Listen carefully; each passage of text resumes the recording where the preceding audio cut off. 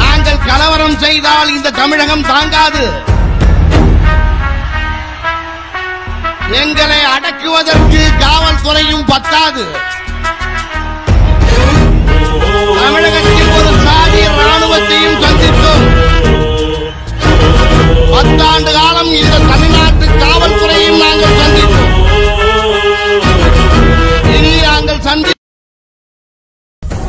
மாநாடு நடத்தினது நான். தலைமை தாங்கினது நான்.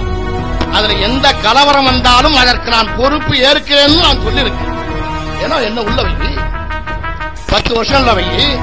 நீ முதலமைச்சரா இருக்கிற வரைக்கும் என்ன வை.